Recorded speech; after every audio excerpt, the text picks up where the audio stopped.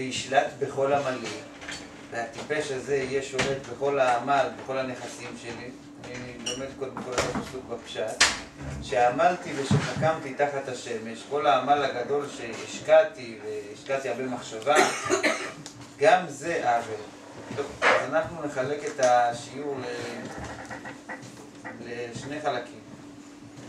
החלק הראשון יהיה התייחסות על, ה, על ה, מה שקובע לאבא כביכול, שהוא עומד ושואל, עומד ותמה, האם הבן או היורש יהיה חכם או שחל, האם זה שישלט בכל עמלי שעמלתי ושחכמתי יהיה נבון וימשיך את דרכי או לא. החלק השני שאני אתייחס אליו זה מה שהוא מסיים בסוף, גם זה העוול. מה הוא רוצה לומר במשפט הזה, גם זה העוול. מה אנחנו שומעים בפשט מהדברים של שלמה, שכאשר אדם היה רגיל לעשות, להעביר, אה, ליישם דברים מסוימים בצורה מסוימת, וכעת הוא משאיר את כל ה... מה שעמלה נפשו כאן בעולם, והוא עומד בספק האם הדבר שאני עמלתי ימשיך להתקיים באותו האופן כמו שאני עשיתי אותו, או שהוא יתחיל, ל... או שהוא יומשך, הוא יפעילו אותו בצורה אחרת, הדבר הזה מדאיג אותו והדבר הזה מכאיב אותו. במילים אחרות, טבע ונפש האדם שיצר אותו הבורא, שהאדם רוצה המשכיות. עכשיו, כולנו מבינים את המושג המשכיות, רק כאן יש חידוש במושג המשכיות. לא רק שאני רוצה שיהיה המשך לי, אלא אני רוצה שההמשך שלי יהיה דומה לי. כלומר, זה שיש לך בן, אז הבן ממשיך אותך, אם תרצה או לא תרצה, זה ממשיך הלאה. אבל הבן יכול להמשיך אותך בדרך אחרת ממה שאתה היית, בשונה ממך. טבע האדם שיצר הבורא, כמו שאומר החכם מכל אדם, זה שהאדם פשוט דואג האם זה שימשיך אותי, ימשיך אותי באותו האופן כמו שאני הייתי, יש לו בסתר ליבו משאלה שהוא רוצה שימשיכו אותו באותו תנועת נפש, באותו סגנון כמו שהוא היה. אנחנו מוצאים במקרא, בתנ"ך, את אברהם אבינו שעומד ו... באותה דילמה ששלמה אומר, מנסח אותה בסגנון שלו, עומד אברהם ומנסח אותו בסגנון שלו. הוא אומר לקדוש ברוך הוא, אין לי לא נתת זרע. והנה בן ביתי יורש אותי. באותו, באותו שלב שאברהם האמין שלא יהיה לו בן, הוא חשב שהוא יעזוב את הארץ והעבד שלו, העבד הנאמן אליעזר, הוא זה שירש אותו, אז עומד אברהם ותמה, זה, זה לא שווה, לי לא נתת זרע. אחד מהפרשנים הקדמונים, הספורנו שמו, הוא מפרש שלאברהם הפריע כאן ההבדל, הוא בן ביתי יורש אותי. יש הבדל בין כשבן ממשיך את אביו לבין כשעבד, ולו העבד הנאמן ביותר, ממשיך את אדונו. העבד הוא בבחינת בלתי נודע. הבן עושה מאהבה. העבד עושה מיראה. כל חייו הוא עובד מיראה, מפחד האדון. לכן ההמשכיות שימשיך העבד, הוא ימשיך תנועת נפש שונה משל האבא. האבא רוצה שימשיכו אותו באהבה.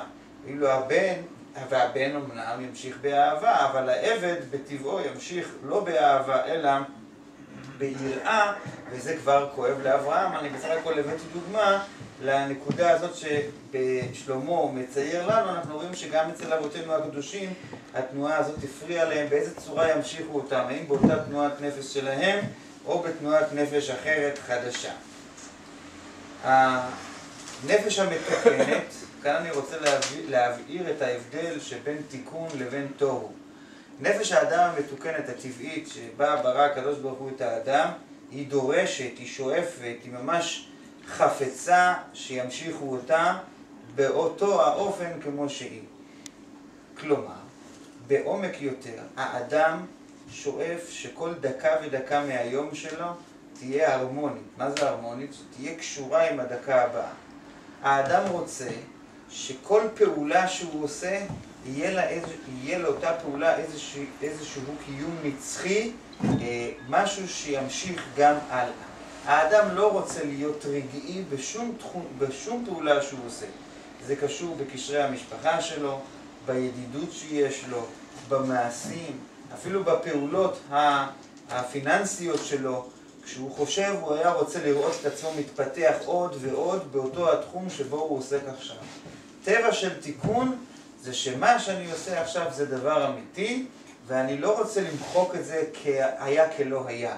אני רוצה לבנות על, על זה שיגדל יותר ויותר. זה טבע של תיקון. ואילו טבעו של היצר הרע, זאת אומרת התוהו, בניגוד לאדם המתוקן, זה התנועה של השינויים. מה שהיה היום לא יהיה מחר, ולא במובן החיובי, אלא במובן השלילי. נפרק את כל מה שהיה, נתחיל דף חדש, דף חדש שאין לו יסוד על הדף של אתמול. את האתמול אנחנו שמים בצד כמו משהו שלא היה. אני רוצה לתת סיפור כהמחשה. אחד נכנס לרבי באותם שנים שהיה קשה לצאת מרוסיה, והוא דיבר בעברית אה, עילגת, והרבי קלט על ההגעה שלו, על הסלנג שלו, שהוא מדבר רוסית. אז הרבי אומר לו, אני מדבר רוסית, אתה יכול לדבר רוסית, אתה שובר את השיניים בעברית. אז הוא אומר לו, אני קיבלתי על עצמי רוסית לא לדבר יותר. הוא ממשיך הלאה לדבר בעברית. אז הרבי אומר לו, תשמע, אני משתדל לדעת כמה שפות שיש, שיש יותר, כמה שיותר לדעת. אתה רק רוסית יודע, וגם אותה אתה רוצה לשכוח. במובן, ה, במובן הפסיכולוגי של הדבר, מה הפריע לאותו אדם? רוסיה עשתה לו הרבה צער, והוא רצה, כמו שאומרים, לשכוח אותה. הוא רצה כמו אותו ציפור שמנסה לייבש את הים, אז היא שופכת קצת אה, חול מה, מהיבשה לים. אז הוא לא ידבר רוסית, וזה הוא מעניש את רוסיה. אז הרבי רצה להעביר לו את המסר שאנחנו לומדים עכשיו, שתיקון אמיתי לא בנוי אף פעם על זה שאתה מוחק את כל העבר שלך לחלוטין. העתיד שלך בנוי על העבר, ברמה זו או ברמה אחרת. אי אפשר ליצור עתיד, מי שעבר אין לו, אין לו הווה ואין לו עתיד. גם אדם שעשה איזשהו שינוי בחיים, אז תמיד הרבי הדריך את האנשים שגם אחרי השינוי שעשית מבחינה דתית או מבחינה של שינוי מקום, ממקום אחד למקום שני, שהשינוי יהיה מבוסס על מה שעשית בעבר. רבי לא אהב את אלה שלמדו איזשהו מקצוע בעבר, מה שנקרא בעולם הפתוח, אחר כך כשנעשו דתיים עזבו את אותו מקצוע ולא אה, התייחסו אליו ולא, אדרבה, הוא עודד אותם אם הם צריכים להשתלם ולסיים אותו, תסיימו אותו. מה עומד מאחורי זה? לא רק לתת להם את ההרגשה שהדת היא לא נגד הלימודים, לא זה המסר. המסר הוא כי זה עולם התיקון. עולם התיקון פירושו שאני לא לוקח 30 שנה שהייתי עד עכשיו ואני מוחק אותם כאילו הם לא היו אף פעם.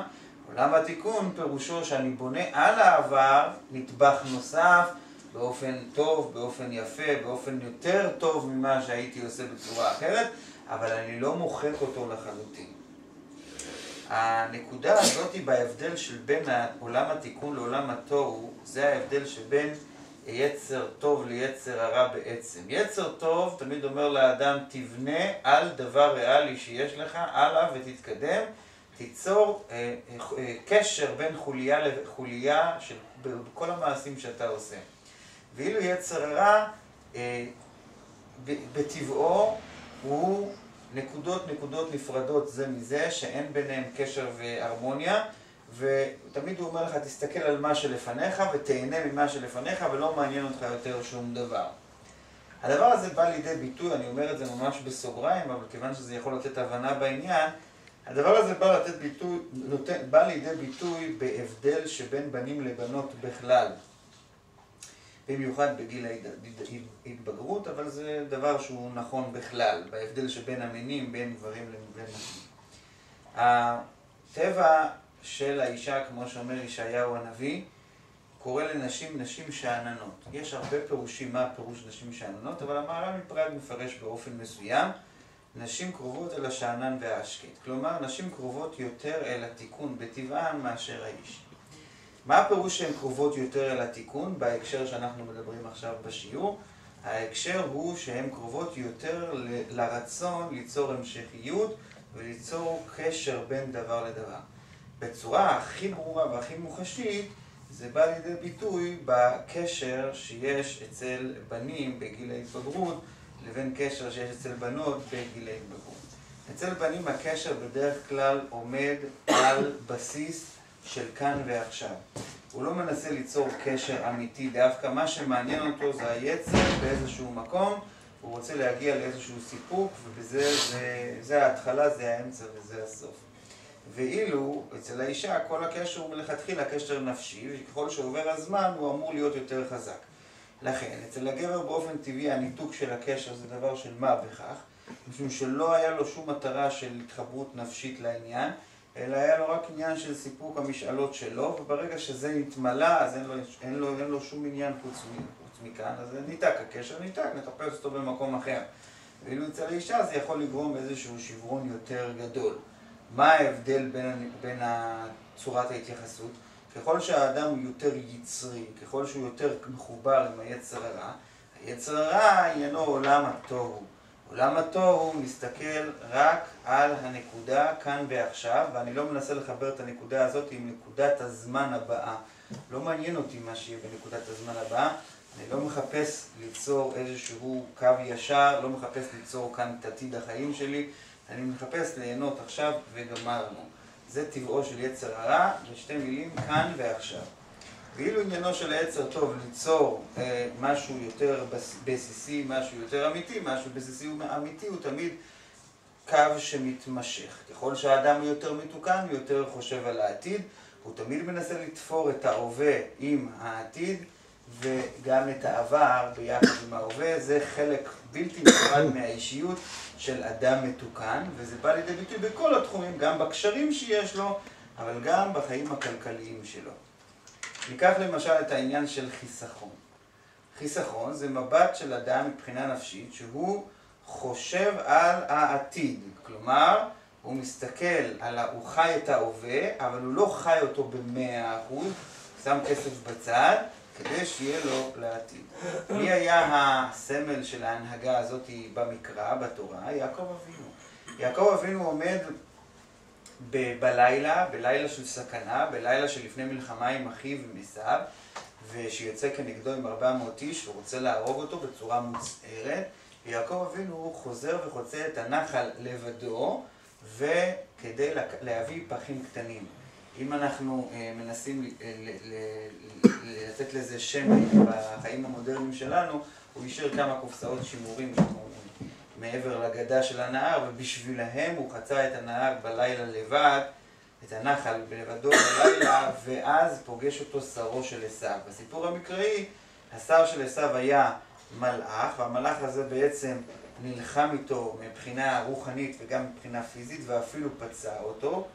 אה, נקע אותו בכף אה, יריחו, ויעקב אבינו מעולם לא הביע חרטה על, על זה שהוא הלך וחצה את הנחל, וגם חכמינו לא הביעו עליו מורת רוח, אף פי שהם לא מתביישים אף פעם לבקר מישהו שעשה מעשה שאינו הגון, הם לא הביעו עליו אה, ביקורת בזה שהוא הלך לבדו בלילה כדי לקחת כמה פחיות.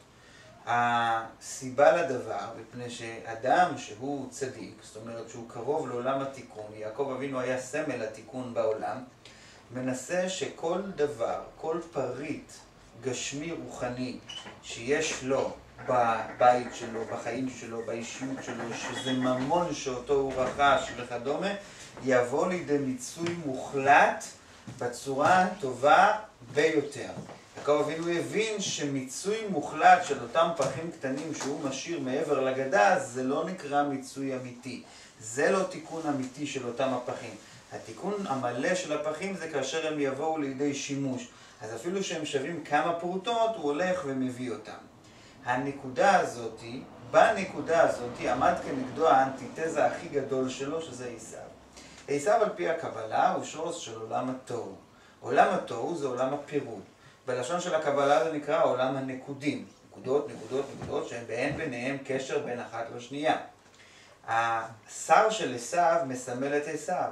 עשיו עניינו שאתה תחשוב רק על עכשיו, מה שעומד לפניך, משהו בסגנון של אכול ושתו, כי מחר נמות. כלומר, אני לא עושה את חשבון המחר, לא מעניין אותי מהמחר, תהנה היום ומה שיהיה יהיה. תגמור את הכסף שלך היום, מחר מה שיהיה יהיה. תנועת הנפש הזו של הפיזרון, אפילו שאני לא צריך, מה, אין לי סיבה מיוחדת לפזר, אבל בשביל מה לא ליהנות עכשיו? למה לחשוב על העתיד זה לגמרי מיותר? זה התכונה של עשיו. עשיו, עכשיו.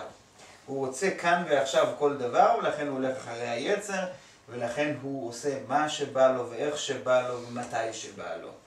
מה שאין כן יעקב, בדיוק הפוך. תמיד הוא יעשה רק מה שצריך, ותמיד הוא יהיה מחושב. האם מה שאני עושה עכשיו באמת נצרך, ואם לא, אני אשקיע את זה בדבר אחר, בזמן העתיד, ואני לא אבזבז כסף סתם. לכן, דווקא לכן, אומרת תורת הסוד, תורת הקבלה, שבשעה שיעקב חצה את הנחל, והוא הגיע למצב כזה שהוא עכשיו בשביל כמה פרוטות מסכן את עצמו בלילה חשוך, פה דווקא הוא הגיע לנקודה הזו שהמאסר של עשיו החליט להיכנס בו, איך שאומרים בעברית אה, אה, סלנגית, החליט להיכנס למלחמה בו, כי אתה במעשה הזה עומד ממש כאנטיתזה לכל המציאות שלי, לכל המציאות של התוהו שאומרת תסתכל רק על מה שלפניך. אדם שמסתכל רק על מה שלפניו יגיד מה שווה ללכת לחצות עכשיו את הנהר באמצע הלילה בשביל להביא כמה פחים. אז הפחים ילכו לאיבוד, מה אכפת לי מהם? ואדם שמנסה לחבר ולקשר כל דבר שהוא עושה עם העתיד, לא רואה את הדברים בצורה הזאת, וזה בעצם היה, היה אה, פן מסוים של מלחמה רוחנית שבאה לידי ביטוי גם במלחמה גשמית. נמצאנו למדים שעניין החיסכון בכלל, כשאדם חוסך כסף ביחס לעתיד, יש לזה פן אלוקי של תיקון לעומת האדם המפזר. חיסכון זה לא בגלל שאתה חושב מה יהיה בימים הבאים, ימי זקנה וכדומה. גם אם תהיה עשיר כקורח, לפי תורת הסוד, יש עניין שלא תבזבז, בלי שום קשר לזה שיש לך הכל. יש קמצן, יש, אה, יש פזרן ויש חסכן.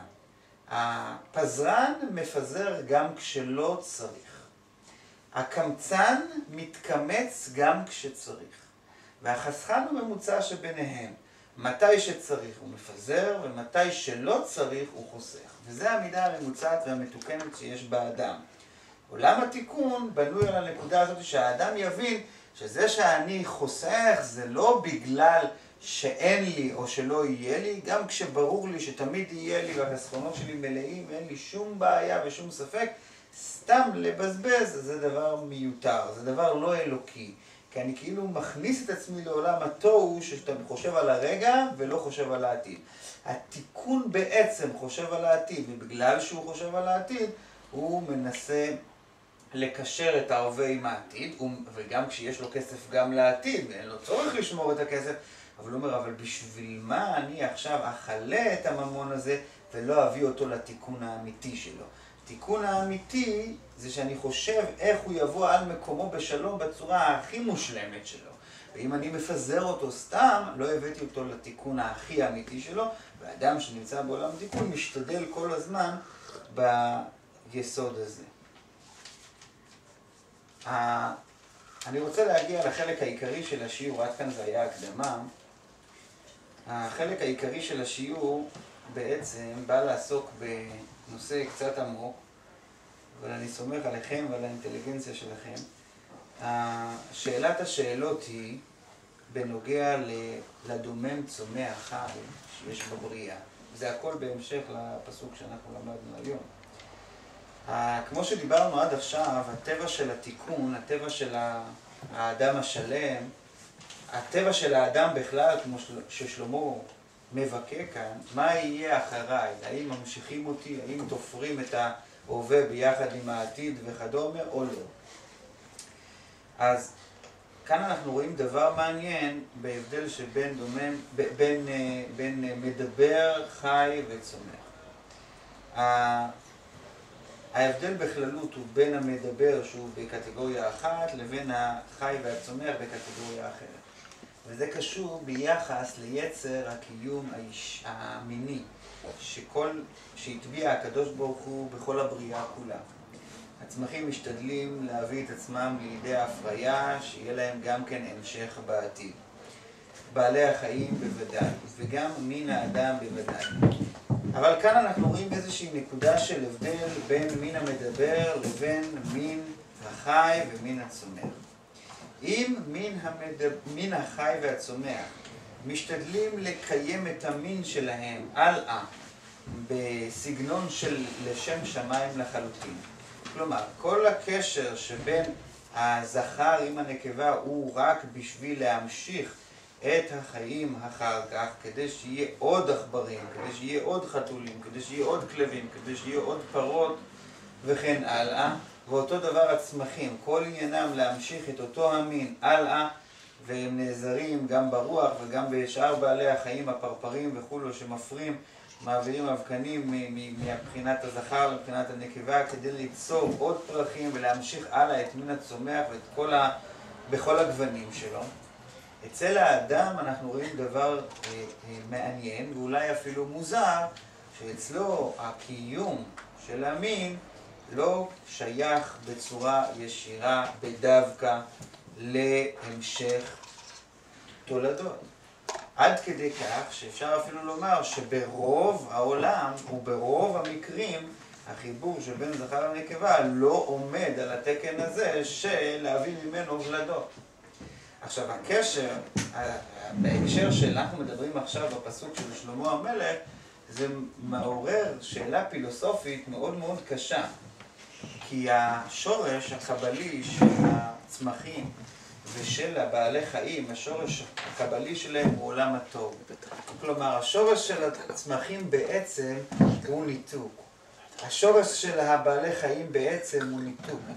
ואף על פי כן, אנחנו רואים אצלהם את ההמשכיות מה שנקרא ההמשכיות של יצר הקיום המיני שלהם, להמשיך את המין הלאה, שהם עושים אותו בצורה הכי מושלמת של המשכיות. הם משתדלים להמשיך, קרנפים משתדלים להמשיך את ה... אתה יכול לקחת.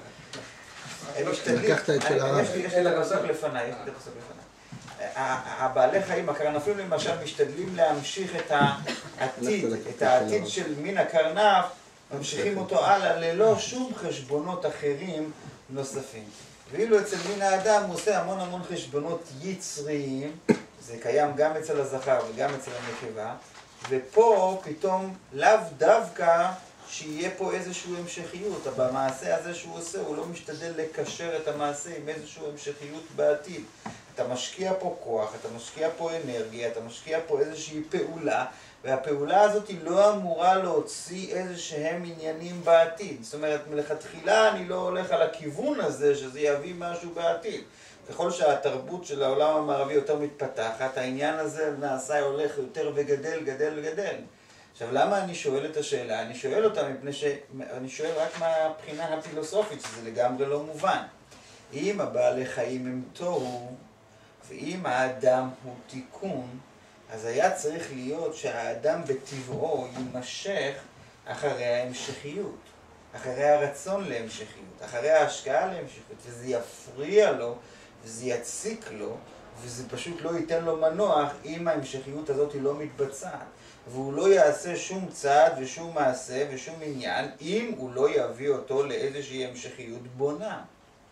ואילו בעלי החיים, היינו צריכים לראות אותם לגמרי הפוך, שהם עושים מה שהם עושים, בלי שום קשר אם יש לזה המשכיות, בדיוק הפוך ממה שהיינו מצפים. מה שעושים בני האדם היום, היינו מצפים שבעלי החיים יעשו.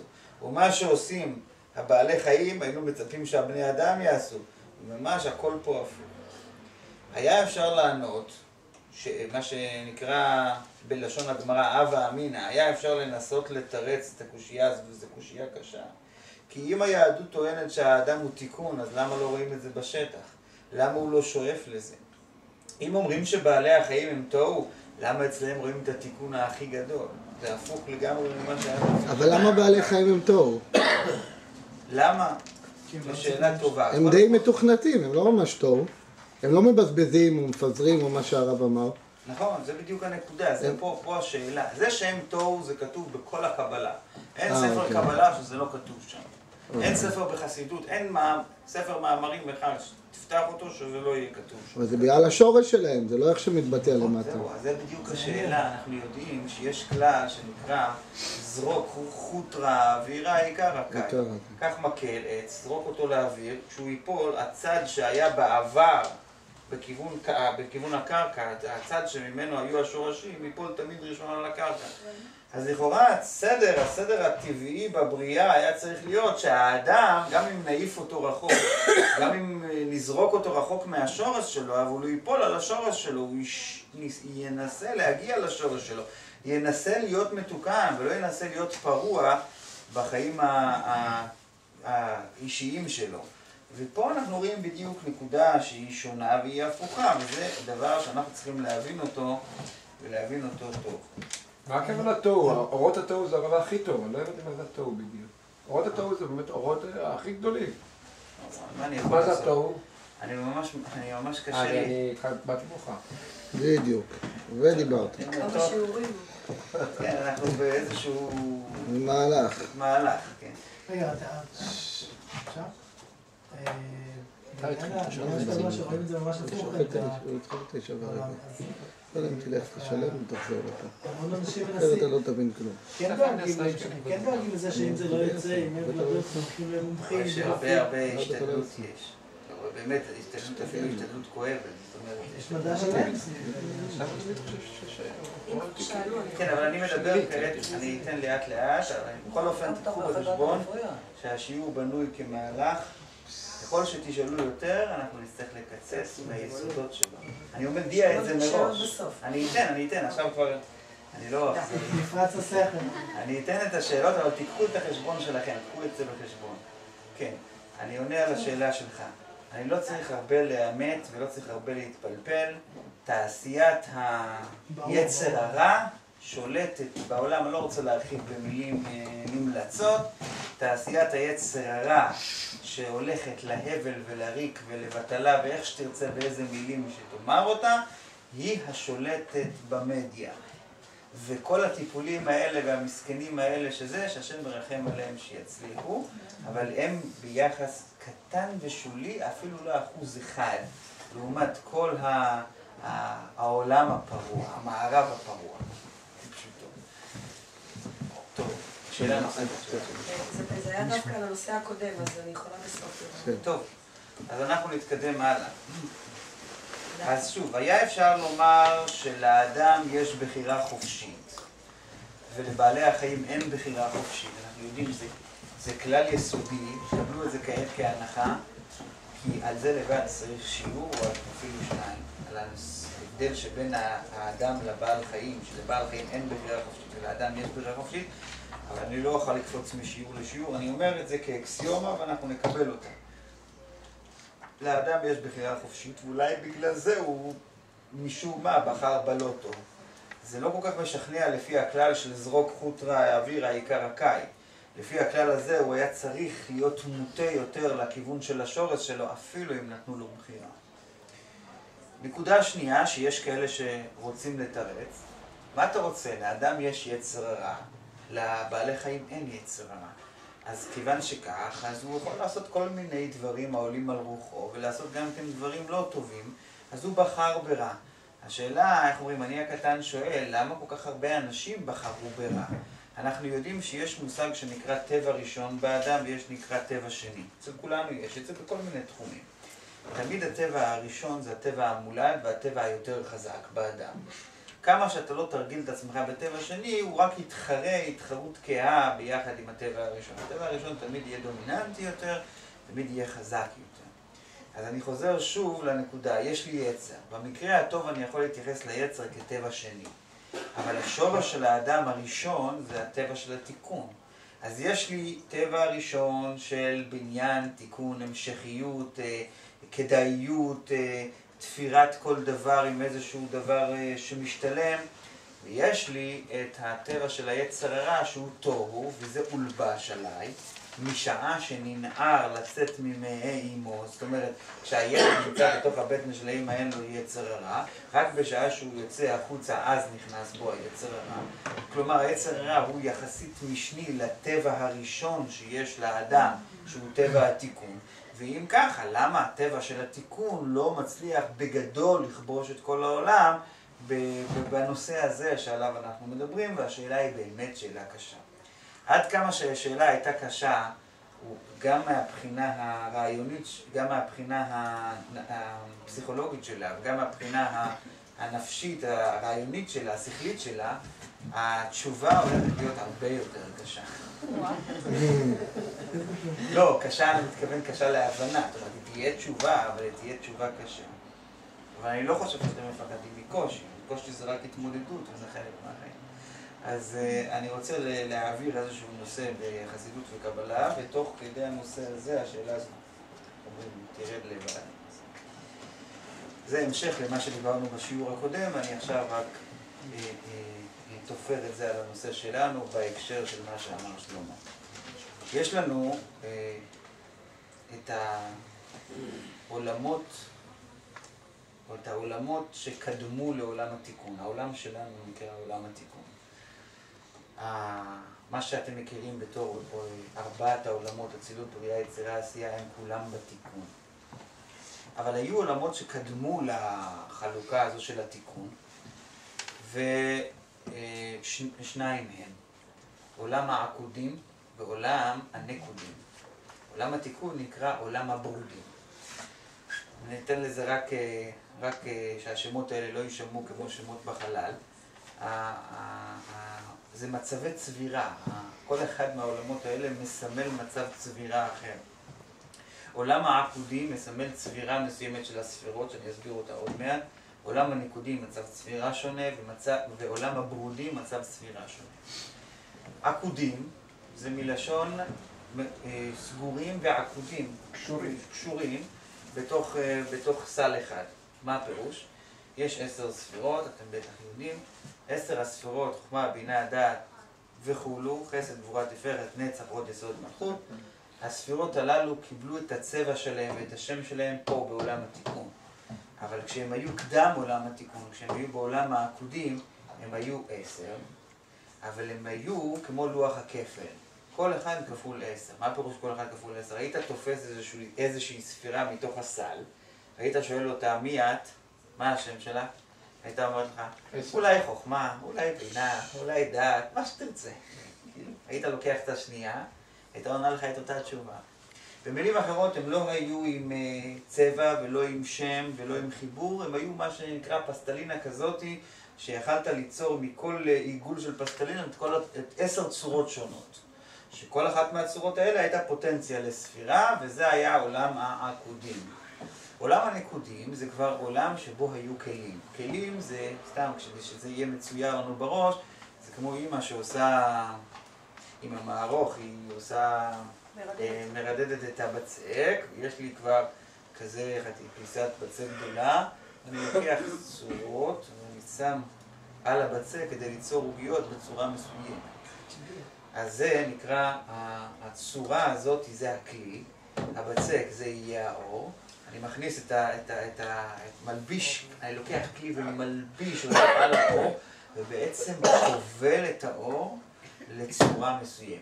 האור, הבצק, עד עכשיו היה יכול להיות איזה צורות, איזה צורות, בוא נגיד אין סוף צורות שיש בעולם.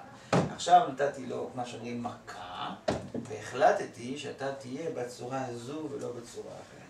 זה מה שהתרחש בעולם הנקודים. באו כלים לאור, הלבישו אותו, וסגרו את עשר הספירות, והעשר ספירות הללו אה, הרגישו שהם פשוט, אה, אה, כל, כל חתיכת אור נסגרה באיזשהו כלי. עכשיו היית שואל אותם, מי את? אני חוכמה. ומי את? אני בינה. עכשיו, לא בגלל שהיא בינה, אלא בגלל שהכלי הוא זה שגרם לה להיות בינה. הכלי, כמו שאומרים, סגר אותה להיות בינה, להיות דעת, להיות חסד, להיות גבורה, להיות תפארת. וזה ההבדל בין עולם העקודים לעולם הנקודים. מה זה הכלים האלה? תראה, כל שאלה, שבע שעות תשובה. דלג עליה, הרב. פה, אומרים, אנחנו רוצים לענות על השאלה ההיא. הכלים, תחשוב על הציור של הבצק, אין לי עכשיו אפשרות לעשות משהו אחר. שם אנחנו נמצאים היום. הכלים הם בעצם ההגבלה לאור. זה הניסוח הכי פשוט שאני יכול להגיד עכשיו. הם מגבילים את האור והם צובעים אותו, צובעים אותו בצבע מסוים, ואתה תהיה זה ולא תהיה משהו אחר. עכשיו שימו לב טוב. אף אחד מאיתנו, גם אנחנו שנמצאים פה, לא אוהב שמכתיבים לו, ולא אוהב שסוגרים אותו, ולא אוהב שאומרים לו אתה לא יכול להיות ככה, אתה לא יכול להיות ככה. מה זאת אומרת? יכלתי להיות עד עכשיו מיליון ואחד דברים. עכשיו אתה אומר לי שאני לא יכול, לא יכול, לא, אני לא אוהב את זה, אתה שלילי, אתה בן אדם, אה, אחי. שמעתי פעם פרסומת, ילד אחד אומר לאמא שלו שהוא רוצה להיות גם שוטר וגם טייס וגם רב חובל וגם וגם וגם וגם אז אמא שלו שואלת אותו, מתי תספיק ללמוד את כל זה? אז הוא אומר, אם את לא מפרגנת לי, מה אכפת לך? כאילו, תנועת הנפש של האדם זה שהוא לא רוצה להיות סגור באיזשהו דבר. הכלי סוגר אותו. עכשיו, מה שקרה כאן היית- היה מין אה, מרד פנימי בתוך, ה, בתוך ה, הכלים האלה, זאת אומרת, הם, הם לא, האורות לא כל כך השלים עם העובדה שבאת אתה ושמת עלינו מנעול וכבשת אותנו, הם לא, הם לא כל כך אהבו את הרעיון, והמרד הלך וגבר עד שנעשה שבירת הכלים, ושוב אני אומר את זה בצורה ציורית. נשברו הכלים, הכלים נשברו והכל אה, התפזר, ואז מאז אנחנו עובדים בתיקון הניצוצות שהתפזרו בשבירת הכלים, וכאן נשאלת השאלה, זה לא נשמע טוב. אלוקים, אלה אני, כשאני מכניס לחשמל איזשהו מכשיר מארצות הברית, שהוואט שלו הוא 110 ואני מכניס אותו ל-220 והוא עושה פום, הוא מתפוצץ, אני יכול להבין את, ה... את חוסר תשומת הלב שלי. אבל אתה בורא עולם, עשית משהו והתפוצץ לך הלגו שלך בידיים, זה נשמע לא טוב. זה נשמע, שאתה... זה נשמע כאילו אתה לא... לא שמת לב, חלילה.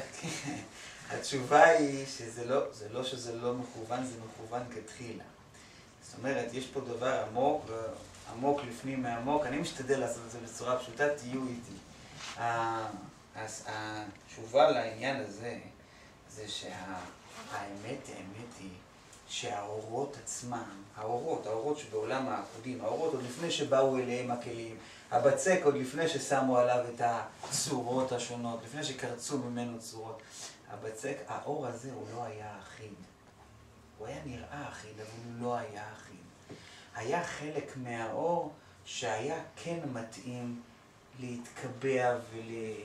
ולהתכנס ולהתבטל לשם שנתן הכלי לאור. והיה חלק מהאור שהיה כל כך, אה, מה שנקרא, מסיבי ופרוע ושוחר חופש, שהוא לא היה בנוי לקיבעון הזה שהכלי אמור היה לעשות לו. עכשיו, מה שקרה, מה, ש... מה הייתה הבעיה? הבעיה הייתה שכשהקדוש ברוך הוא ברא את העולם, הוא ברא אין סוף. זה התחיל מאין סוף, ומהאין סוף הלך ונוצר העולם בסדר השתלשלות גבולי. אז תבינו שבאיזשהו שלב האור הזה, לא יכלת לתפוס בו נקודה מסוימת ולהגיד, אתה רואה את הקטע הזה פה מהאור, החלק הזה בבצק, הוא אינסופי. תפריד, תפריד אותו, שים אותו בצד.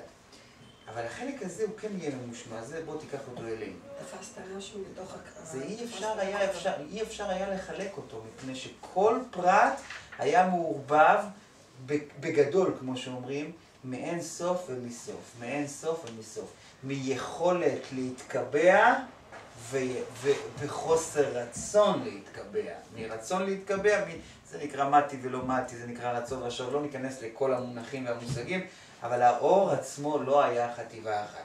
עכשיו, מה שקורה זה ככה, ברגע שאני קבלתי אותו, הכבילה שאני עשיתי יצרה ואקום, כל בחינות הסוף שבתוך האינסוף, שבאור, התחברו אל הכלי. התחברו אל הכלי.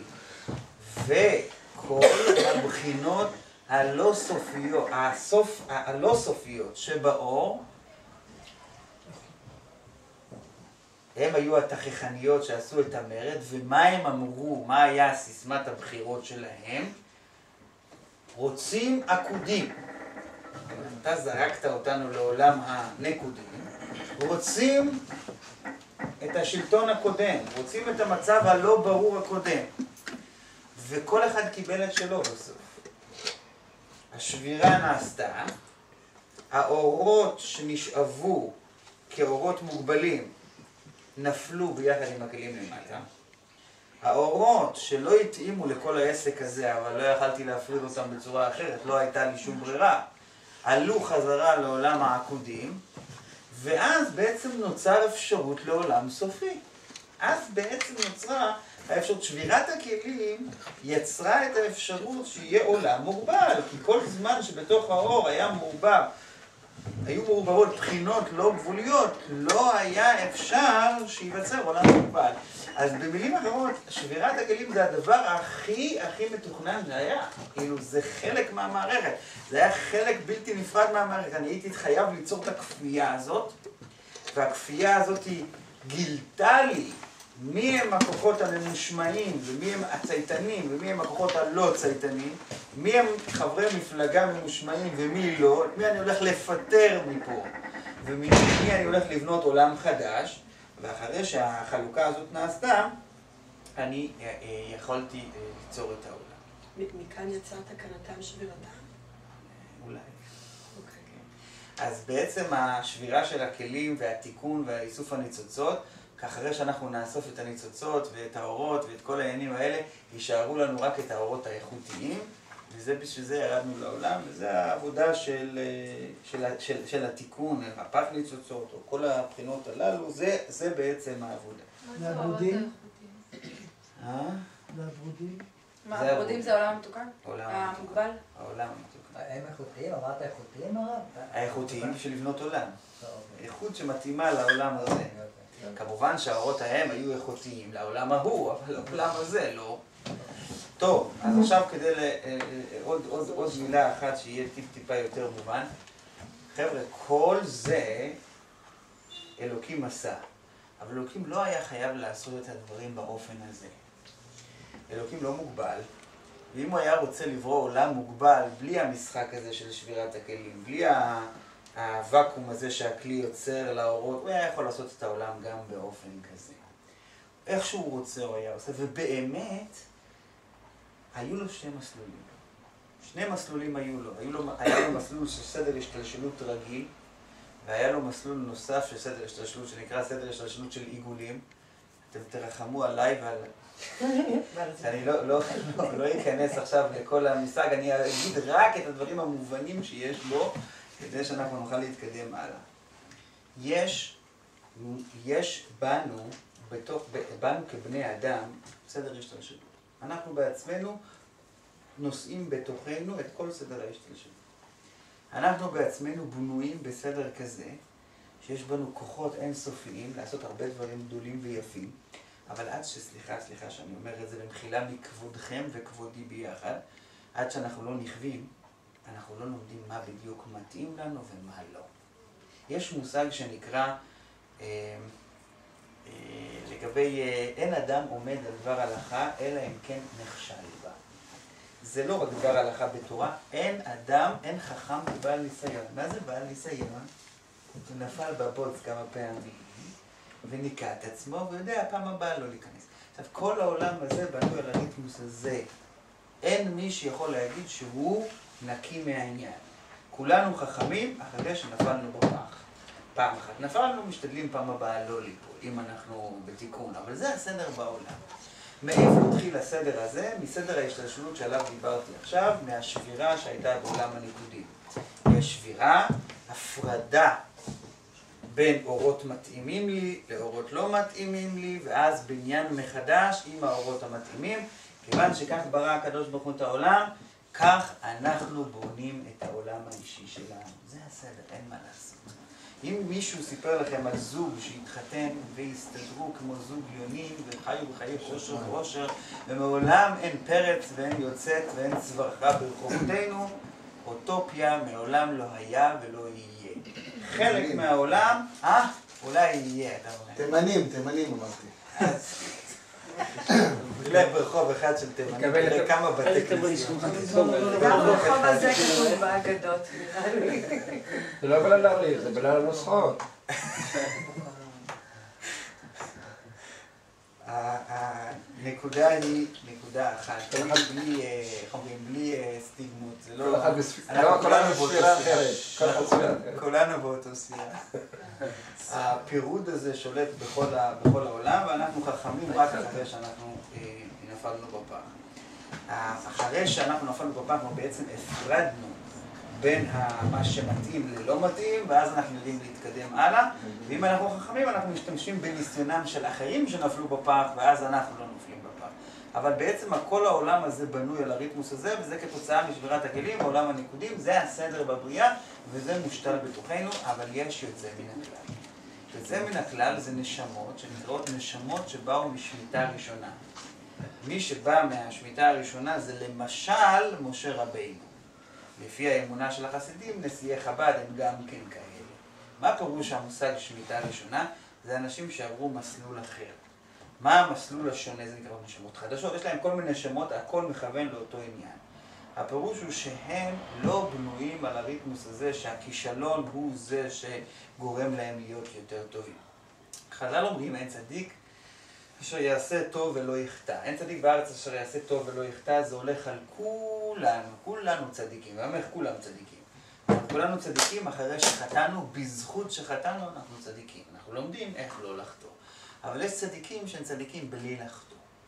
זאת אומרת, הם לא צריכים את החטא כמנוף, כמנוף שבונה אותם, שמרומם אותם, שגורם להם לא לחטוא, וזה בעצם אומר שהם לא היו במסלול סדר השתלשלות הזה שעליו דיברתי עם עולם הניקודים באמצע, הם לא היו צריכים את ההפרדה הזאת בין הטוב ובין הרע באמצעות השבירה, ולכן לא הייתה להם בעיה בסדר איך שהם יורדים למטה. כל הדברים האלה אמרתי בראשי תיבות, אבל בטח הבנתם. עכשיו, אני חוזר חזרה לשאלה הקודמת. השאלה הייתה, איך זה קורה שדווקא האדם הוא בבריאה, אני עדיין על הבעלי חיים לא עונה עכשיו, אני עונה קודם כל על האדם. איך זה קורה שדווקא האדם הוא המבולבל הכי גדול מבחינה מינית, מכל הבריאה, מכל בעלי החיים ומכל הצומחים? איך יכול להיות שדווקא הוא עושה מה שבא לו והוא לא, משתל, לא משתדל לעסוק בהמשכיות? התשובה היא שהוא כן יעסוק בהמשכיות אחרי שהוא יחטוף את שלו. זאת אומרת, הוא, הוא בהתחלה, הטבע שלו בהתחלה זה ערבוב של אין סוף, דברים לא ברורים, לא ידועים, הוא לא יודע מה הוא רוצה, איך שאומרים את זה היום, הוא מחפש את עצמו. ובאיזשהו שלב, אחרי שהוא מתאכזב מהאהבה, או יש לו איזשהן התעוררויות אחרות, אולי חיוביות יותר, שמאפסות אותו, אז הוא מגיע לתיקון שלו. זאת אומרת, השלב שלו תמיד זה שלב של שבירה. שלב של סבירה זה שלב של תוהו. השלב של התוהו אצל האדם זה השלב המקדים שלו. נכון? אמנם האדם שורשו תיקון, נכון. אבל איך התיקון הגיע? וזה נקודת התשובה. התיקון אצל האדם הגיע כי קודם היה שבירה ורק אחר כך נבנה תיקון. תיקון, אפילו כשאומרים את המילה תיקון, באת כאן הביתה, מה זה תיקון? המקרר מקולקל, אז לכן באת כאן. קונים מקרר חדש, לא מביאים תקן. מביאים טכנאי, אני לא יודע, אולי לסדר את הדלת, אולי להרכיב אותה, אבל לא מביאים תקן. תקן מביאים כאשר משהו מקולקל. זה בסגנון. אז אצל האדם יש עולם התיקון. כדי שיהיה תיקון צריך להיות קלקול. קלקול שורשו מן התור, אז הוא קודם כל עובר תהליך של תור, אז הוא עושה את כל השטויות שבעולם, ואחרי שהוא עובר את כל המסלול של השטויות, אז הוא סוף סוף מבין, לא, לא, זה לא מתאים, זה לא שווה, זה לא נותן כלום, כלום, כלום, כלום, כלום. ואז הוא מגיע לשלמות הפנימית שלו, מישהו מזוכח יותר, הוא מגיע לזה מהר יותר. מי שמזוכח פחות, מגיע לזה יותר לאט. אבל בסופו של דבר, הבריאה כולה אמורה להגיע לזה, וזו התשובה לשאלה ביחס לאדם. אבל עדיין אין בתשובה הזאת מענה על בעלי החיים. בעלי החיים שורשם לעולם הטוב. אז איך הם כאלה צדיקים? איך הם כאלה מתוקנים? איך הם כאלה עכשיו עושים את מה שהם צריכים לעשות לפי מתכונת וחושבים על העתיד ובונים את העתיד? וכאן אנחנו מגיעים לדבר שהוא עמוק בפני עצמו, חשוב להבנה בפני עצמו גם בתהליך אצל הבעלי חיים. הסדר הוא שהבעלי חיים, השורש שלהם מסדר ההשתלשלות השני. נכון, השורש שלהם הוא טוב, אבל לא התוהו הזה של השבירה שאנחנו היינו ב... שאנחנו היינו שם. להם יש סדר אחר של השתלשלות. והסדר ההשתלשלות האחר שלהם הוא ישיר יותר, זה הסדר ההשתלשלות של העיגולים. הוא ישיר יותר, הוא קרוב יותר, הוא מדויק יותר. הרצון של הבורא מתגלה בהם בצורה הכי ישירה, בצורה שאין לה אח ורע. זאת אומרת, אתה מסתכל על בעל חיים, אתה יכול לראות צדיק שעובד את הקדוש ברוך הוא מהבוקר עד הערב, בדיוק איך שהקדוש ברוך הוא רוצה, ולא סוטה ימין ושמאל. אין לו בחירה חופשית, הוא אף פעם לא עושה בניגוד לרצון הפנימי האלוקי של הקדוש ברוך הוא, עובד לשם שמיים, וזה נובע מתוך התוהו, נכון שהוא תוהו, אבל השורש שלו בדבקות יוצאת מן הכלל מהבורא, כי השורש שלו תוהו ללא שמירה באמצע. בגלל שהוא מדויק מאוד. כאן אני מגיע לדבר הרבה יותר עמוק ממה שיכלנו לדמיין אפילו. הגמרא מספרת, רב נחמן אומר, אני לא הצלחתי לדקדק טעמו של דין בגמרא עד שלא אכלתי בשר של שור. ואנחנו שומעים שרב נחמן אומר שכשאוכלים בשר של שור אז לומדים לדקדק. מה זה לדקדק בעברית? לדקדק זה להפריד בין הסברה הנכונה לבין הסברה הלא נכונה, אבל באזמל אנליטי מאוד מאוד עדין. זה נקרא לדקדק. רב נחמן בתור בן אדם, בן אנוש, לא הצליח לדקדק. הוא מנסה לדקדק והוא לא מצליח. למה? למה הוא לא הצליח? משום שהשורש שלו מהשבירה, ובשבירה היה בלבול. והבלבול הזה זה בלבול מהותי. אם אני רוצה ישרות, בדיוק, כיוונו על כשל, בצורה הכי מדויקת, תביא, תביא את הבשר של השון. זה השור הזה, שהשורש שלו מעולם התוהו. אבל מעולם התוהו הזה, שמשתלשל ישירות, לא דרך שבירה ובלבולים באמצע הדרך, בצורה ישירה, אני אוכל אותו, אני מצליח לדעת. אם אני רוצה לתת לזה המחשה, ההמחשה היא ההבדל בין תמונה לציור. הבעל חיים הוא תמונה מצולמת, מדויקת, של הקדוש ברוך הוא, ושל מה שהקדוש ברוך הוא רוצה. עושה את הכל מכוון. האדם נבנה עם המון המון אפשרויות לשינויים. יש לו בחירה, ויש לו יצר הרע, ויש לו שבירת הכלים באמצע הדרך, והוא מחפש את עצמו. בתוך כל החיפוש הזה, זה, תדמיינו בן אדם שעומד עם המכחול ומנסה לצייר את שירת חייו. הציור בסוף יכול לצאת מאוד יפה, אבל הוא אף פעם לא יהיה מדויק כמו התמונה המצוינת. כי בסופו של דבר, מי זה שמחזיק את המכחול? מחזיק איזה אחד מבולבל כזה, שלפי תנועות הנפש שלו מצייר. מה יותר יקר? הציור. למה? שזה עמל פנימי. מה יותר מדויק? הצילום. מה עושה הצייר כשהוא רוצה שהציור שלו יהיה מדויק? לוקח צילום, ושם. זה נקרא שהוא לוקח בשר של שור ואוכל, ואז כשהוא מצייר את התלמוד, רב נחמן מצייר את הסברות של התלמוד, אז עד שלא אכלתי את הבשר של השור, עד שלא האמנתי את התמונה של ההוא שם, המדויקת הזאת, אז לא דקדקתי טעמו של דבר. לא הצלחתי להגיע לרמת דיוק מדויקת, כי זה לא ביכולת האדם. זה לא ביכולת האנושית. אבל תגידו לי, אחרי שהצייר, סליחו לי על הדוגמה, גומר לצייר את הציור שלו, מה הוא עושה עם הצילום? חוזר. חוטא את השם שלו למטה. זורק אותו. זורק, זורק. לפח. אתה לא זורק הצילום, כלום. הצילום, שהיה, שעמד לידו ואיתו הוא, הוא עשה, זורק אותו לפח. זה הסיבה שהיהדות אומרת להשתמש בבעלי החיים, מותר לאכול בשר, מותר לאכול, לכן היא רואה את הדברים בצורה הזאת.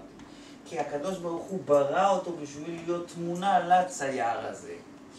כי, כי, כי זה, זה התפקיד שלו, אין לו, אין, לו, אין, לו, אין לו איזשהו תפקיד שהוא צריך לעשות, הוא כבר מושלם, הוא נוצר מושלם.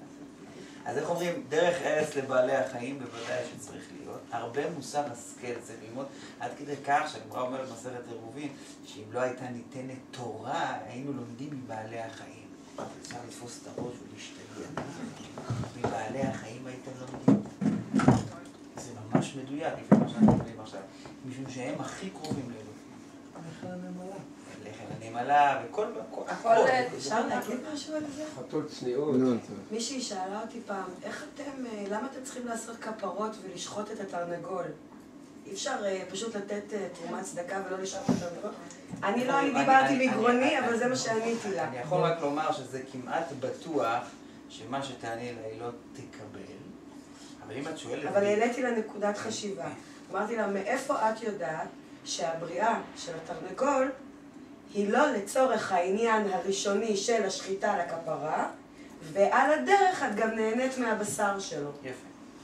ב- ב- אבל זה לא היה ממני כנראה. ההקשר שלה, זה כנראה היה מהתרנגול. לא, בהחלט, אכלת פעם תרנגול וזה יישר את הראש.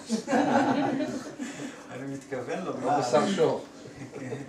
אני מתכוון לומר שבאיזשהו מקום, לפני שאנחנו עומדים ביום כיפור ואנחנו רוצים להיות אמיתיים ולא רמאים, אז אנחנו נזכרים בעוף ובמה שעושים איתו, ואנחנו אה, מיישרים ומכוונים את עצמנו בהתאם אליו. ושוב השאלה, אתה צריך לקחת את התרנגול ולהשוות את מה שעושים לו, ואז אתה תלמד מזה? התשובה היא כן. משום שהוא הרבה יותר מדויק ממני, והרבה יותר מכוון ממני, והרבה יותר מחובר ממני. כיוון שכך, אני לא, לא, אה, לא, לא יכול להימנע מלהשתמש ב, ב, ביכולות האלה שנתן לי המוח. טוב, אז זה היה בעצם תשובה גם לצד השני של השאלה. זאת אומרת, השאלה הייתה למה אנחנו ככה ולמה אנחנו כל כך מבולבלים. ענינו על זה. למה הם כל כך מכוונים? גם כן ענינו על זה. ומה שנשאר לנו להבין זה החלק השני של הפסוק של שלמה. שלמה המלך בסיום הפסוק, של, בסיום ה... אבל למה תחת השמש נזכר? למה זה תחת השמש דווקא? אני אגיד לך משהו, כמו שעידו שאל אותי למה אני התחלתי להגיד את השיעורים מפסוק י"ז. אז אמרתי לו שהתחלת השיעורים אמרתי במקום אחר, ושם נסגר השיעור, אני ממשיך אותם פה. אז שם אמרתי יותר משלושה שיעורים על הנושא של תחת השמש, בעזרת השם, תשמעי אותם שם. זה מוקלט, אני לא רוצה לחזור על הדברים. אז אני מתייחס עכשיו לחצי השני של השיעור, לקטע שלא התייחסתי ב... ומי, ומי, ומי, עד עכשיו דיברנו על מי יודע, מי יודע איך חכם יהיה או שחל, וישלט בכל עמלי שעמלתי ושחכמתי תחת השמש, זה בעצם היה הצד הראשון של הכאב של שלמה. עכשיו, כאן בפסיק, מה קרה כאן בפסיק? בוא נגיד והצלחתי. הצלחתי להביא ילד לעולם שהוא עושה בדיוק מה שאני רוצה. הוא משלים אותי בדיוק. אני חסד, הוא ממשיך חסד. אני מרחיב את העסק, גם הוא מרחיב. בדיוק כמו שאני רציתי. אומר על זה שלמה, על המצב הזה שיש המשכיות של העתיד והמשכיות כמו שאני רציתי, המשכיות של תיקון כמו שאני חפצתי, על זה אומר שלמה, גם זה אבל. זה אבל. למה זה אבל? אז המפרשים אומרים ככה, זה אבל מכיוון ש... מה קרה כאן? אני עמדתי לפני שאלה, מה יהיה אחריי? האדם שואל, מה יהיה אחריי? מי ימשיך אותי? ימשיכו אותי כמו שאני רוצה או לא? אם לא ימשיכו אותי כמו שאני רוצה, אוי ואבוי, זה אסון גדול. ואז הצלחתי לפעול בחינוך של הילדים שלי, שהם ימשיכו אותי כמו שאני רוצה. מצוין. אז מה נוצר פה דבר חדש? אתם מכירים את הסיפור על השועל שנכנס רעב ויצא רעב? מה, מה, יצא, מה הרווחתי מכל העניין? העולם הזה זה עולם של השתפצות, תיקון, אשר ברא אלוקים לעשות ולתקן, התעלות. אז הבן שלי כמוני, מה הלאה? יש, יש, יש אפס, יש למטה מהאפס, יש למעלה מהאפס. אני הייתי למעלה מהאפס, הייתי למעלה מה... הייתי באפס נגיד. פחדתי שהבן שלי יהיה למטה. עשיתי, עשיתי השתדלות, דאגתי שהוא חזר לאפס. הוא ישלים אותי. מה הלאה? איפה ההתקדמות? איפה ההתעלות? איפה העשייה? איפה היותר? איפה זה? אומר שלמה המלך, זה הכל אבל, זה לא שווה שום דבר. אם אתה לא הצלחת ליצור יותר, אז מה עשית? במילים אחרות. אני חוזר חזרה לעולם של השבירה, העולם של התוהו. התנפצו הכלים, נשברו הניצוצות, אספנו אותם. אתם מכירים את הילד הזה, לוקח את כל הארגז צעצועים, טראח, תאסוף יפה הכל. עכשיו, מה קרה לסלון? היה נקי, נשאר נקי, מה עשית? עשית בלאגן, ותוקן הבלאגן. מה הרווחנו מזה? איפה הרווח הגדול שיש? אין רווח. אז בשביל מה היה צריך את כל העניין? יש בגמרא ביטוי שאדם שקונה ומוכר באותו מחיר, האם אפשר לקרוא לו סוחר? לא. לא. אם אין רווח, אז בשביל מה עשית? איפה, איפה התוספת? איפה המסחר? איפה המסחר? איפה, איפה העניין? וזה בעצם מה ששלמה אומר. בסדר, הצלחתי לפעול את העניין, אבל לא הרווחתי מהעניין שום דבר, לא, לא פעלתי כלום. מה האמת? האמת היא שאומרת תורת החסידות, שכל העולם הזה זה בירורים. מה זה בירורים? לאסוף את הצעצועים שהתפזרו. כל העולם הזה אנחנו מבררים, מבררים, מבררים. יש עבודת הבירורים הכללית, שאותה הרבי אמר שסיימו. יש עבודת הבירורים הפרטית שכל אחד צריך לעשות. כי עדיין לא כל אחד, אם הוא נמצא פה, סימן שהוא עדיין צריך לעשות משהו. אז כל אחד עדיין עושה את מה שהוא צריך לעשות. זה עבודת הבירורים הפרטית. הכל טוב ויפה. הבירורים האלה בסופו של דבר אני רק מנסה לשפץ את החורבות שהיו בשעת השבירה. אבל מה הלאה? איפה הבניינים הגדולים שהייתי צריך לבנות? איפה התועלת הגדולה? לא עשיתי כלום. שלב ביניים. אומרת תורת החסידות, זה יהיה לעתיד לבוא. לעתיד לבוא יפסיקו הבירורים ויתחילו עבודת הייחודים, יהיה תוספת אור. ואומר רבי באחד המאמרים שלו בשנה הראשונה שקיבל את הנשיא בפרשת פנחס, אז יהיה עניין של דירה בתחתונים באמת.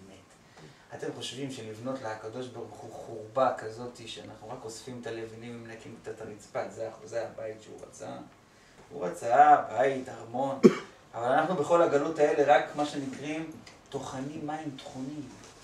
אנחנו מגלחים אפרסקים, אנחנו עושים, חוזרים על הדברים, חוזרים על, מנסים להחזיר את העבר, מנסים להחזיר את מה שהיה, וכולי היי ואולי. מתי יתחיל התיקון של הווילה הגדולה, התיקון של העולם באמת? אומר הרבי באותו מאמר, זה יתחיל לעתיד לבוא.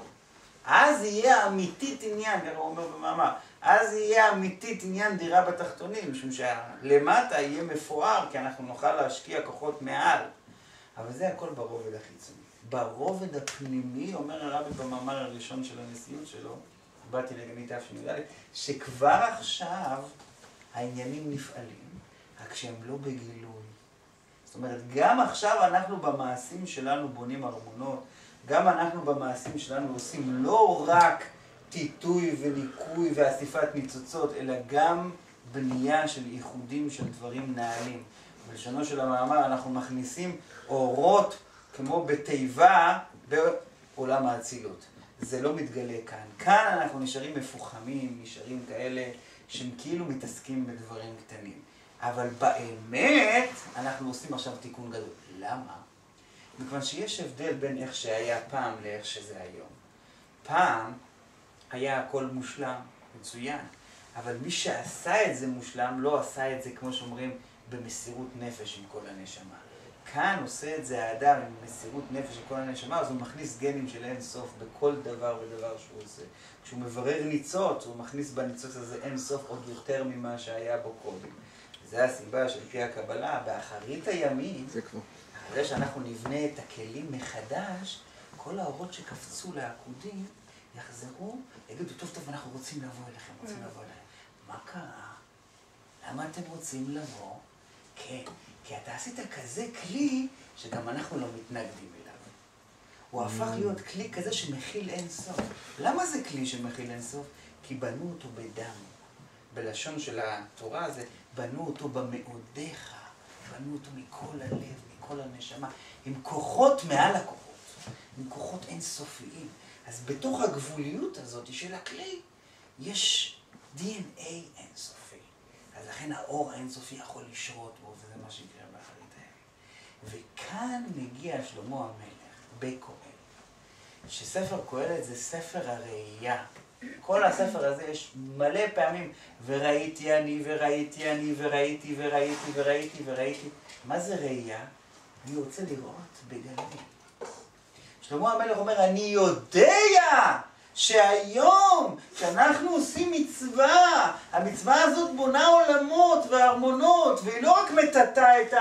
את ה... את ה... את ה... מהפיח וה... שנפל בשעה שהיה איזה רעידת אדמה. אנחנו יוצרים עולם חדש, אני יודע את זה. אבל למה אנחנו לא רואים את זה? אני רוצה שיראו את זה. מה זה שווה שאתה עשית המשכות, וההמשכות הן גבוהות, וההמשכות הן בונות, וזה ייחודים, אבל לא רואים את זה. והוא היה שואל שאלות כאלה פרובוקטיביות בספר הזה, בספר קהלת, שהגמרא אומר במסכת שבת, דף ל', שרצו חז"ל לגנוז את הספר הזה, זה היה נראה להם כמו כפירה. הוא טען, מה, הכל הבל, הכל שטויות. אבל על פי פנימיות, לא הכל שטויות, לא הכל הבל, מה אתה אומר הכל שטויות? אבל אומרת תורת החסידות, מה התכוון שלמה המלך שהכל שטויות? אני יודע שזה לא שטויות, ואני יודע שיש לזה טעם פנימי, ואני יודע שיש סוד לכל דבר. ואתם מכירים את החסידים, כל דבר שקורה, אתה יודע, זה בגלל זה, וזה בגלל זה, וזה בגלל זה. כן, אבל לא נמאס לכם כל ההסברים האלה של הבגלל? וזה עניינים, וזה סודות, וזה תיקונים, וגלגולים, וזה, וזה היה עונש על זה, וזה היה עונש על זה. כן, הבנתי אותך, בסדר. אבל אתה אומר שמאחורי זה יש איזשהו טוב, מתי הטוב הזה יבוא בגלוי? וזה מה שהוא מסיים בסוף, זה הכל עוול. בסדר, הצלחת לעשות שהבן ימשיך את האבא, והוא ימשיך אותו כמו שצריך, והוא יעשה מה שהאבא רוצה. אבל איפה התוספת? איפה הריבית? איפה הרווח? אתה מספר לי שהרווח שמה? אני רוצה אותו פה, אני לא רוצה אותו שמה. זה הכל הבל. איך, איך, איך, איך כתוב? תורה שאנחנו לומדים עכשיו, הבל היא לעומת תורתו של משיח. אומר שלמה המלך, כל מה שאתם עושים עד שהוא לא יבוא לידי גילוי בעיניים וראיתי אני, אני עם כל הישות שלי רוצה לראות איך הדברים מתגלים למטה. ולכן, הספר הזה זה הספר הכי משיחיסטי שיש. באמת. זה הספר שהכי טוען את הטענות שהדור האחרון טוען אותן. בסדר, הכל טוב, אבל אני רוצה שזה לא יהיה רק ממעל. אני רוצה שזה יהיה ממש. שזה יהיה פה למטה. שזה יתגלה פה למטה, ב, ב, למטה מעשרה טפחים. כמו שזה הרבי תמיד חוזר בזכות, למטה מעשרות טפחים, למטה מעשרות טפחים. זה, זה המהות של הספר הזה. וזה המהות של הבקשה הזאת ששלמה מבקש. איזה שם לא משיחיסטי יש לך? אה? כהן. השם של המקום, צריך להיות יותר משיחיסטי. ממעל ממש. זה לא ממעל. אתה רוצה שזה יהיה תחת עשרת רק שבטים. ממש. בלי- ממש ממש. ממש ממש. כן, אז איך אומרים, הראשת שמות של השם הקדוש של הרבי זה ממש. וזה הסיבה, זאת אומרת, זה, זה, הוא, הוא, הוא, זה הכל הווה. איך הרבי התבטא בכ"ח בניסן, באותה שיחה ידועה? עשינו, עשינו, עשינו, והכל is לא הבל ולא ריק. לא הבל. כמו שלמה המלך פה, זה הכל הבל. מה זה הכל הבל? זה באמת הבל? לא עשינו כלום.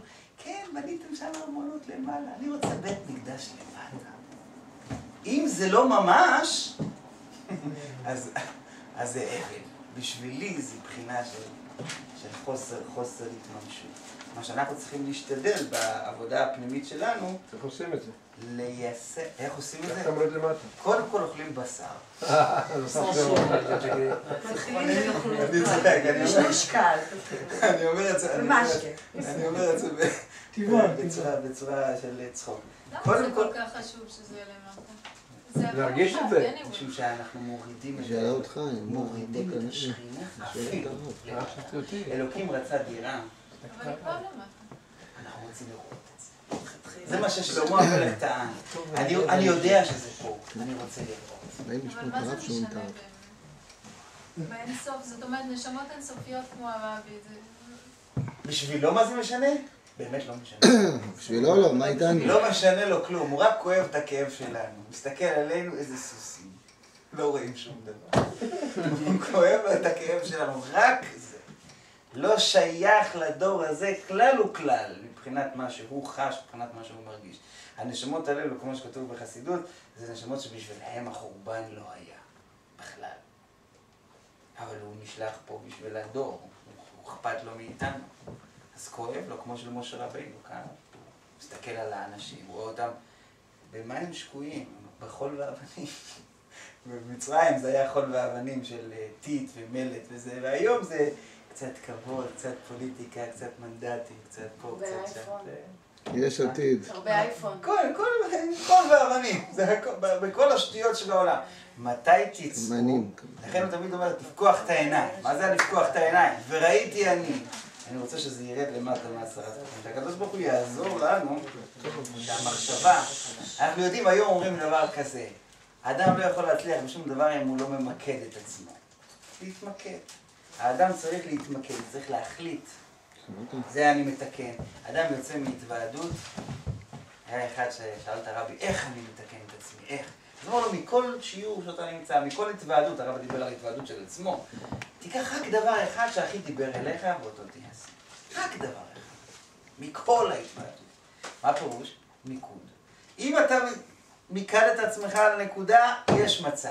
אבל אתם מכירים את אותו ילד, שאחרי שיחת מוסר של אבא או אמא שעה, אז אתה מבטיח שתהיה ילד טוב?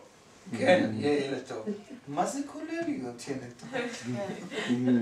מה זה כולל? הוא הבטיח שיהיה ילד טוב, מחר הוא עושה עוד שטות אחרת. עד שלא מיקדת אותו, את זה לעשות, את זה לא לעשות, לא עשית כלום. אז אנחנו בנקודה הזאת גרועים יותר מילדים. אם אנחנו לא, אנחנו יש לנו המון רצונות טובים, אבל אנחנו נמצאים אי שם בעולם העקודים, והרצונות שלנו מתחלפים ומעורבבים עם אין סוף ועם סוף, ועם הרבה טוב ועם הרבה לא טוב. אם אנחנו לא ממקדים את עצמנו בצורה ברורה, מה אני עכשיו, לאיזה כיוון, במה אני משתפץ עכשיו, איזה קבלה טובה אני מקבל עכשיו, אז האור הזה לא נשאר, אין לו קיום. זה התכלית של העבודה שהאדם שם, לכן הרבי קרא לזה עקשנים. תגידו אתם, עקשנות זה מעולם התוהו או מעולם, התיקון? אמ, טוב, זה שיעור בפני עצמו, באמת. באמת זה שיעור בפני עצמו, אבל. לא- לא- עקשנות זה לא- תוהו תוהו מה? מוחלט. תוהו אבל תדעו לכם שבתוך התוהו יש. משהו חיובי שאותו אנחנו צריכים להשתמש בו, והרבי לקח את עולם התוהו של העקשנות, זה נקרא אורות התוהו בכלים לתיקון, לקח את העקשנות ואמר שימצאו עקשן, שניים, שלושה, עשרה עקשנים, שיפעלו, שהם יביאו את הגאולה. מה זה עקשנות? התמקדות. עולם הנקודים זה שאתה נכנס בנקודה אחת ותוקע, ואיך אומרים, עושה פה חור עד הקצה השני של הכדור. אבל התמדה. אה? אבל זה התמדה. זה התמדה. אה, עכשיו אתה שואל, שאלה על השיעור של העקשנות. אני לא... העקשנות זה הצד השלילי של ההתמדה, כן? וה- וה- וה- והרבי השתמש בלשון העקשנות דווקא, כי הוא יודע איפה. יודע צדיק נפש בן. זאת אומרת, הוא לוקח את אותה בחינה שעדיין לא מושלמת, והוא לוקח את הצרה ועושה ממנה צורך. זאת אומרת, הוא לוקח מאותה בחינה שלילית, והוא מביא את המשיח איתה. זאת אומרת, תתמקד בנקודה מסוימת, ואז תפריד בין, בין הסוף ללא סוף, ואז סוף כל סוף תצליח. גם בחינוך ילדים זה עובד על אותו. אפשר לשאול משהו על הנושא הראשון? אה, דיברת על הנושא של החסכן, פזרן וקמצן. אה, אה, דוגמה שאני רוצה להביא אותה, בסעודות שבת פה למשל יש סעודה בערב שישי ויש ביום שבת.